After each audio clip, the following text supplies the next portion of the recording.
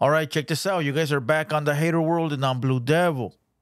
What we have going on today is a clip from the Bootleg Kev podcast interviewing ESTG. Uh, you know, rapper ESTG walked out mid interview, felt uncomfortable, and said, I'm out, right? But you already know before we get into this video, if you guys are new to the hater world, make sure you go over, hit the subscribe button, hit the bell, like the video, and most importantly, leave me a comment down below. Let me know if you guys like what I'm doing or whether you don't.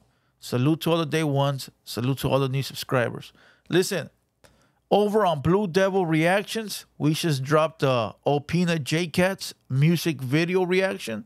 So go over there, support, show some love, uh, comment on the video, share the video. You already know.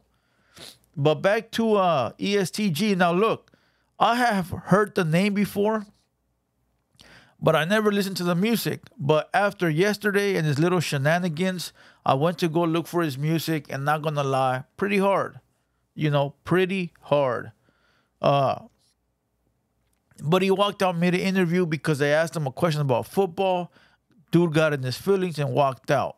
So check this out. I don't want to hold you guys too long. Let's go ahead and watch this video and get you guys a Southsiders reaction. Let's go. Now the video, bro, is like 25 minutes long. We're gonna start it at the 20 minute mark because that's roughly around when you know the drama happened. But I will tell you this: I watched the whole thing, and not once did Bootleg Kev say anything out of pocket. Not once.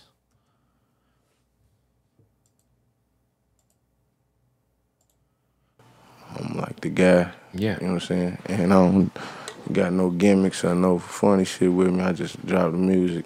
Yeah. Feel me, live my life. And I got stats to prove it. And I know uh, niggas are arguing in the barbershop about who's better. Like I got gold plex, platinum plex. As a lead artist, you know what I'm saying? It's a big deal. Got a gold album, the entire album. It's a big deal, You know man. what I'm saying? So I ain't. I don't know. I don't feel like it's. It, they shouldn't jumble it up and say this type of music, this type of like artist. I feel like I'm the Leading the forefront. of you know what I'm saying rap in general, not just Louisville. I was gonna say, what market for you started to pick up on ESTG first outside of Louisville? Like, what was like that city you were like, oh, this is spreading, this is moving somewhere. Like, I could actually go get a bag in this place. Like, was there a city that you remember that like really kind of like It was just all at the same time, kind of like it just kind of all kind of happened like wildfire quick? I just was moving around anyway, so people knew me. Like the streets knew me anyway. Then Yeah. they come with the music, and we pop up. Eighty niggas, eighty. Listen, I don't know none of this guy's background. I don't know if he's a street dude. I don't know if he's a college graduate, graduate, or however you say it. I don't know. I really don't know nothing about him. I don't follow him. You know, a lot of people could be saying like, "Well, why are you reacting to it?" We sort of just reacted to the clip, not to his background. But he did say right now that the streets know him. So obviously, if the streets know you, it's either they know you for music or gang banging, one or the other, right? The streets only know you for those two reasons. Either you pop in with music or your your craft, or you pop in in the streets and your voice is, uh, your name is uh, bubbling and making noise, right? And that could be for drug dealing, gang banging, uh, you know, whatever illegal activity you got. But your name ain't gonna be buzzing if you if you're going to college, right? Let's go. Things, 80 watches. It don't matter what if you getting up there and humming, you know what I'm saying? Yeah. They gon' they want to see what you're talking about. Yo, um, I've seen this picture of you at the hold on. This is where he asked him that question. Listen, I watched this whole interview, bro, and that motherfucker was boring like that the whole through the whole way through. Like simple as five second answers. I don't understand how a motherfucker go to a, a interview, right, or a podcast and expect not to talk. Sometimes you gotta coach them though. I had a couple artists up here and I had to tell them like, look, just talk. Whatever happens, bro, if I stay quiet, you can pick up the convo, right? When I ask you a question, don't make it a 10 second answer. Be be specific and detail. Make that a few minutes, you know. And then if I jump in, let me couple of minutes and then you go back. You know, don't let the room get quiet. That's when it gets awkward. You know, but this guy, the whole interview, bro, he was just like boring as hell. NFL Combine, Yeah. which What? Yeah, ain't seen no picture no NFL. well, I saw you in like the NFL Combine looking like workout. Yeah, like Shit. a, a workout. Was that just a workout you were doing for a team? I don't know Wh- how you see the picture. You ain't read the article that came with it. I just saw a YouTube video where they were talking about uh, you and like I was just watching some of your uh, high school highlights and your college shit. Like I saw like What YouTube video you seen? dude, I don't know, man. It was like a it was like a YouTube video. It showed like you announcing that you're going to Indiana State and What's the YouTube video called? I don't know. I just literally typed in ESTG football highlights. And I was like, damn, this dude was a beast. You played linebacker, right? Hey, up to this point, bootleg Kev is giving them props, right? Telling them that he was a bad motherfucker when it came to football. Just conversation about his past. You know, listen, your past will come back to haunt you.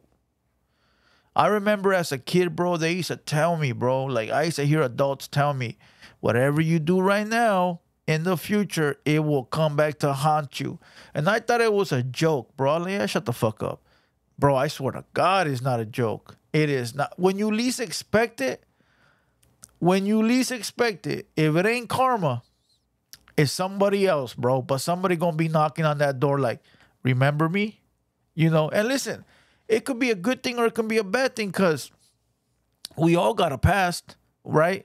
We all got a past. I used to do something before I turned into a, well, I, uh, you know, I've had different ways of making money, but, you know, right before I got into this little podcast right now, my second run before this, I, I ran a couple of businesses, you know, and people can say that, oh, well, I'm gonna expose you. You you can, but you know, it's those things that that you were doing before what you're doing right now, you know. And so this guy right here, this guy right here was a football player, you know, and I from the outside looking in, I see nothing wrong with that at all. I think that's a dope ass accomplishment. Uh, but you know, a lot of gangsters don't want to be reminded of their past. Me, I don't give a shit, right? But there's a lot of gangsters that that want this squeaky clean record, but it's like, my boy, you ain't got it. You ain't got it. Let's not forget. Let's not forget the great Master P. No Limit Records, the great Master P, the number one hustler in the rap game, has played basketball, NBA basketball, even if it was for half a season or uh, off season or preseason. He played NBA basketball, was one of the highest paid entertainers in rap, was an actor, created movies, got his whole family rich, all from $10,000. So this guy getting angry over somebody bringing up his rap career, uh, his uh, football career, is weirdo activities. What do that got to do with music and shit right now? No, I'm just curious because I'm a big football fan. So like, I'm just like, I just I, I'm a huge football fan, and I find it fascinating that like you really like had like a real high level like football run. You know what I'm saying? Before the rap shit like took off. So yeah, I just think it's fast. But obviously a part of your story. Dope. So I know it doesn't have anything to do with what's going on right now, but that's fair. um, I was gonna ask you like when it comes to. I remember when you That fool E ESTG is looking at the floor like a little bitch. You think he look at Kev and say, you know, my boy, listen, my boy, I don't want to talk about that. I don't. Let's change the fucking convo. But instead, he acting like a little stuck up hood rat. I ain't gonna look at you because you said something I don't like. Fuck out of here. Listen. A lot of these podcasters ask the rappers ahead of time, is there anything you don't want me to talk about? I used to ask that, right? Until somebody from here, which was one of my dudes, told me, bro, don't ask them that. Don't ask them that. Like catch them off guard when you're interviewing. That will that's what makes a good interview. I used to ask, like, hey fool, is there anything you don't want me to talk about? Because I wanted to have a little bit of respect for the guest, right? But my homeboy was like, nah, fool, just ask them whatever. You're the interviewer. You do your fucking job. They know they know why they here. Right? But this guy right here, being a rap millionaire, feels entitled, right? Which, hey, listen, he ain't gotta be up there. I get it. But come on, dog. Like the question is not like, hey, what gang are you from? Have you ever killed anybody? The question is simple. I saw a video of you playing football. I like football. You was a beast. Can we talk about that? Come on. signed with Gotti. I remember the the viral moment where he, there was just all this cash, and at that time, I feel like there was like a bidding war going on for ESTG at that moment. Um, one, what made you rock with Gotti, and what is something over the last two or three years that you have learned? Let me. Pinche llorón.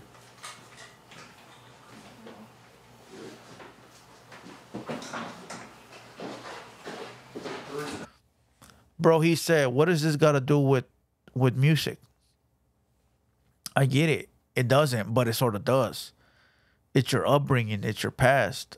You know, uh, your fans want to know about your upbringing. Your fans want to know about your past, unless you're hiding something. You want to know what he's hiding? I'm a real street N I G G A. I'm a real street dude. RNS. That's what they're hiding, and they really fake. So they, you know, he, listen. If it gets out there that he's like this, that he went to college, that he he graduated from school, he comes from a good background, he almost played football. If that gets out there, like super super out there, it, it's out there right now, but it's overshadowed by his gangster rap image. If that gets out there, bro, people are gonna be like, "Oh, that fool's fake. ESTG is fake. That fool used to go to college. That fool got a good mom and a good dad. He used to live in the suburbs. That fool lying in his raps. Fool's a buster." That's what he don't want. And you know what he just did? He just made people go, bro. You know how many people are gonna go look up right now ESTG playing football? He's fucking stupid. All he had to say was like, "Yeah, dog, I did play football for a little bit of, of my time. I wanted to, uh, you know, get into the pros, but it didn't work out." Music's where it's at. Done, bro. People were not even paid attention to it. Now, because of all these shenanigans, now people are actually going to go look into it. And now you're going to have thousands of reactors making videos. Bro, I swear, these motherfuckers be slow. Motherfuckers be slow. But his music is hard, bro. I did hear some tracks. I thought it was pretty hard. He got the image, you know, but ain't nothing wrong with playing football. Ain't nothing wrong with owning a couple of businesses. Ain't nothing wrong with getting your skrilla on the street. However you get your money is how you get your money. Simple. You know. Let's go. Let's see. Let's see what else happens.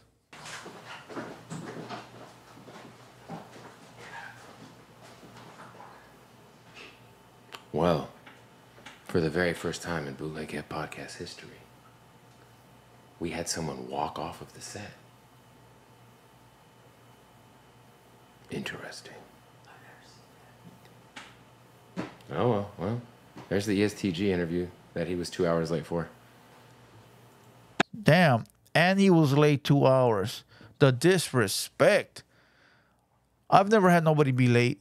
Uh, yeah, yeah, yes, I have. But I always give them like a window. I tell them, hey, I go up like at seven, anywhere between like seven, seven thirty.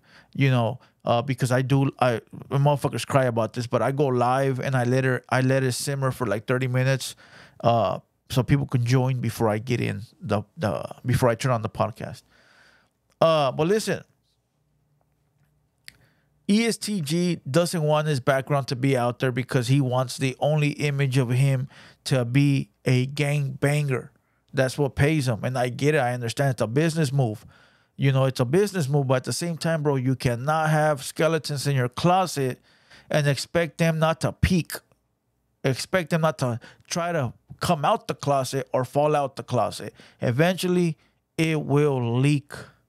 You know, so sometimes you got to get in front of it before you know it, it, it, it creates a monster on its own. But listen, we're gonna kill this video. We're laying call it a day. I think ESTG fucked up by doing that.